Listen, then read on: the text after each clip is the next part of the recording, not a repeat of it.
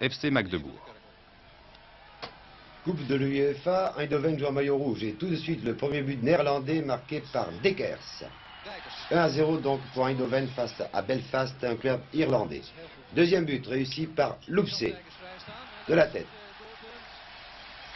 Nous allons revoir euh, ce but qui permet à Eindhoven, le PSV Eindhoven, que Saint-Etienne a deux fois éliminé de la Coupe d'Europe, permet à Eindhoven de mener par 2 à 0 face à Belfast.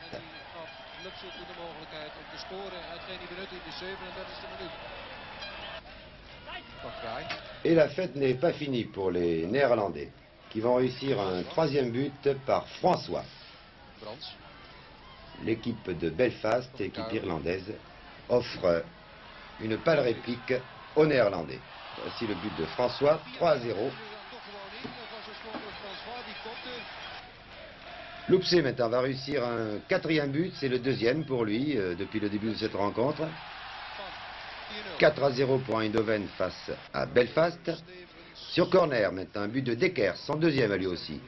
Et la marque est de 5 à 0. Richting Bizi. Dijkers. Au match aller, Eindhoven avait gagné par 6 à 2. Le gardien de but